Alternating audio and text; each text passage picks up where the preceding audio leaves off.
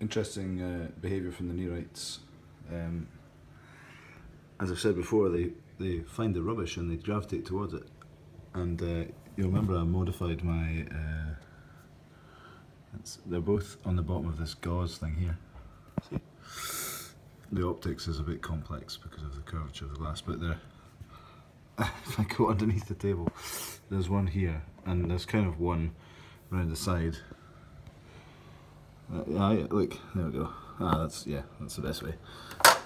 There, they're both on the gauze. So at first I thought they were exhibiting Nerite snail quantum strangeness because I couldn't see either of them in this tiny tank. Anyway, there you go. They're still hard to find in a tiny tank, and the gauze is picking up rubbish, which means it's some sort of effective modification to this filter.